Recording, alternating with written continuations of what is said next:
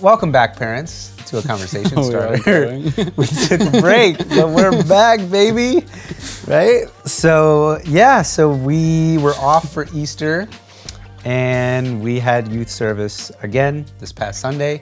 Pastor Mario Dawson, the youth leader. I walking behind the to- camera. Different so-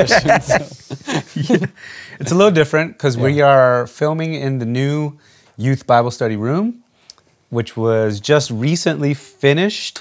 Um, a lot of the maintenance stuff has been finished since the workday, but the furnishing has been uh, finished since last week. Um, so we're utilizing the room. We're going to continue to film conversation starters in here, so it's going to be fun. yeah.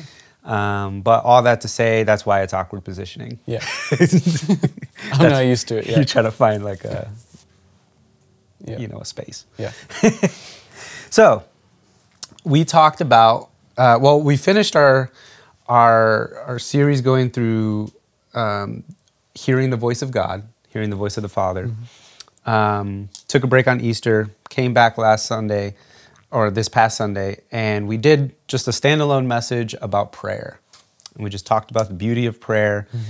It wasn't planned, but the Holy Spirit just connected, you know, what we were talking about with prayer, with Pastor Sam talking about prayer on Sunday morning. That wasn't a planned thing. That's just the Spirit. Um, so it was good. It was good. And uh, so, brief recap, very, very quick. We looked at three uh, things about prayer that we tend to not really associate or even think or consider about prayer. Right. Um, the first one was prayer is more than just words, right? Even like coming into the presence of God and not saying a thing is still prayer. Right. Um, and we looked at like Hebrews 4, where it talks about come boldly before the throne of grace and mercy, like this idea of coming. The invitation is to come. Um, and the second thing is that prayer is a spiritual, it's primarily a spiritual activity. And so we talked a little bit about how sometimes because we are doing a bunch of physical things, like mm-hmm. we're talking with our physical mouths, we're taking our physical bodies into a physical place. Mm-hmm. You know, we're doing all these physical things. Mm-hmm. And so sometimes we could think like, oh, prayer is just a, a physical task that Christians do or a religious activity that Christians do. Um, but it's it's more than that. It's it's a spiritual thing. And we looked at praying in the spirit, like Ephesians six, and what that means, which I think that was a pretty good conversation on that. Yeah, we talked about like spirit led prayer. Wonder if this will stay in. Hello? Um, yeah. okay. yeah. All right. All right, we're back. Breaking. Anyways, that was Sam, um, Pastor Sam calling. Yeah. Anyways, Third point. yeah. Third point. So first thing, prayer is more than words. Second thing, prayer is primarily a spiritual activity. Third thing, prayer is a persistent communication. So it's communication, hmm. but it's persistent. I was just laughing. What? what are you laughing at, dude? just a full phone call in the middle. You're gonna have to cut this now too. Nah, we're leaving it all in. we're leaving it all in, baby. We're back. Just kidding. See the clip of you dancing again. But yeah, so so prayer prayer is persistent um, communication with Yeah. God, and we talked a little bit about how sometimes we pray about something, we pray for something. After a while, maybe you know, it's not it's not seemingly getting answered um, in the way that we want. So we kind of just we don't pray about it anymore, or we Yeah. just bury it, or we just pray about one thing. And we never pray about that thing again. Yeah. Or we move on to the next thing. yeah, we only bring it up once and then just leave it there, Yep. waiting for it. Almost. So we looked at for that we looked at Luke 18 um, verses 1 through 8 where it talked about the um, Widow. The widow. Yeah, I'm getting Seeking confused with the passage. Yeah, the widow, see, the parable of the widow seeking justice, and how she is persistent with the unjust judge, Mm-hmm. and eventually, because she begins to annoy him, Mm-hmm. he answers her, and basically Jesus says like, doesn't God care more than an unjust judge. Right. Of course, he's going to answer the prayers of those who cry out to him for justice day and night. Yeah. And so we looked at that passage of how Jesus was actually saying, I want you to pray like that woman. Yeah. Yeah, he even says that as he's introducing the Yeah. parable. He says, when you pray, you Mhm. ought to pray like this. Yep.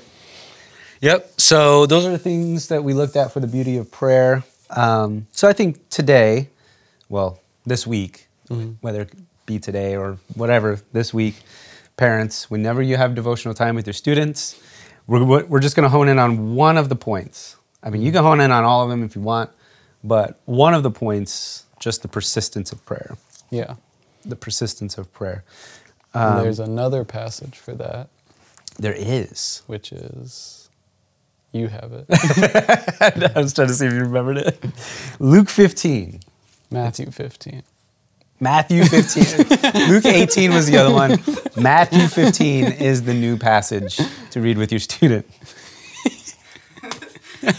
and if you really want to be challenged, read both Luke Read- 18, yeah. 1 through 8, and read Luke 15, Matthew 20. 15. Matthew 15, 21 through 28. Matthew. Matthew. Matthew. And uh, I, I mean, I could give you like a brief idea of what it is. It's a Canaanite woman who's asking Jesus to heal her daughter. Um, and this isn't a parable. This is a real woman who's mm-hmm. coming up to Jesus and genuinely asking for something good, mm-hmm. genuinely asking for something that he's been doing like this, his whole ministry is marked by mm-hmm. healing people from demon possession, healing people from sicknesses, doing all these things to verify him as the Messiah, validate his messiahship. And so this woman isn't asking anything out of the box for Jesus. She's not asking anything that Jesus hasn't already been doing for everyone else. But what we're going to find in the passage, what you're going to see, is Jesus seems to be like awkward and weird in this passage. Um, so, just one question, like with that, and I'll let you lead lead the parents on in this question, but because Yeah. you asked a really good question in regards to it. Yeah, you already kind of hinted at the idea of the question, but in the passage, the Canaanite woman is asking for a good thing. And mm-hmm. Jesus even mentions that it's a good thing later on. And yet he still forces persistence out of her. And we mm-hmm. talked about persistent prayer. Yeah, And so, a good question to ask your student is why does God seek persistence out of us Hmm. for good things? yeah, Um, you know, things that are in His will, things hmm. that He declares to be good, and yet He desires a heart of persistence from us, even hmm. for those things. yeah, And I think to help you think about it, it can can be an issue of the heart. Yeah, you know, where if you're only asking for it once, like we'll say, like reading scripture, yeah, yeah, if you only ask God once to help you with a desire for reading scripture, He might want you to really prove that desire to Him through persistent prayer, through Yeah. asking daily, God, help me to read more. Hmm. Um, instead of just asking once and expecting it to cover your whole life. you yeah. know? it's like all right, boom. right. No, no, I think, I think you're right. Like, there's something about being persistent in prayer that God is using to mold our character in some way. Like, He wants some type of result by waiting and making us wait. Um, I think of like Isaiah, where it says, like, blessed are those who wait on the Lord Right. like there is a blessing that's in waiting um, and god wants us to have that blessing but we don't like waiting Right. And even waiting. with waiting, we don't like asking multiple times sometimes. No. You know, like, oh, you're going to make me wait and you're going to make me come back and ask yeah again. and know? bring it up again Yeah. when i might not get it the way i wanted to right now again yeah. and i may have to come back and ask again Yeah. yeah yeah god wants god wants a persistent heart um, but all that to say it's not easy Mhm. but and parents, you can help with this, helping your student understand the value of persistence in prayer. Mm-hmm. And again, you could share, I would say, share any stories, any mm-hmm. experiences that you have of maybe like you were in a place where you were just like really praying for something for hours, years, days, whatever, and God just wasn't answering in the way that you were thinking He was going to. Mm-hmm. But you kept asking and you kept asking, and even just talking about like what that did for you, Mm-hmm. more than getting the answer that you need. What did the persistence do to your mm-hmm. heart, and what did it do to your relationship with Jesus? So even just like unpacking some of that Right. for your student would be Yeah. immensely, immensely, Yeah. immensely valuable. Yeah. Show them that you also have experience with that. Yeah. You know, with having to be persistent in desiring something and praying for something. yeah, yeah, leading by example, Mhm. just like I did on youth service. so, but all that to say, yeah, uh, parents, I would say read Luke chapter 8, verses 1 through 8, Matthew 15, verses 21 through Luke 28. 18. What? 18, 1 through 8. That's what I said. You said 8. 18, Just put, put it on the screen. It'll be on the screen. Everyone's clear. screen. We hope that you have some good conversation. Uh, quick uh, update, news. I don't know what to call this. News update uh, for youth group. Uh, this coming week, if your student is coming to youth group, they will be serving. No questions asked. Um, because we're doing the widows dinner where the youth group is going to be serving the widows of CBC.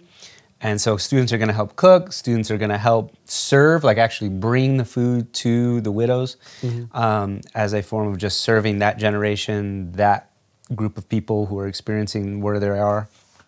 Um, and so it's going to be good. So next Sunday, it'll we need the students here by 4 p.m. The dinner is at 6 p.m. But we're going to be cooking everything here at the church. We're going to be setting things up, so we need some time. So 4 p.m. instead of getting here at 5 p.m. 4 p.m., not 5 p.m. Um, and they'll be leaving a little later. They'll probably be leaving at about 8 o'clock. Um, so I'd say be here by 8, 7.30, 8 o'clock. Um, but make sure they do not have dinner if they are coming because we're going to have quite a good home cooked meal.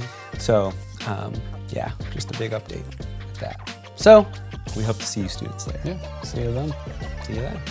Dawson, No, we already cut minutes ago. cue that clip.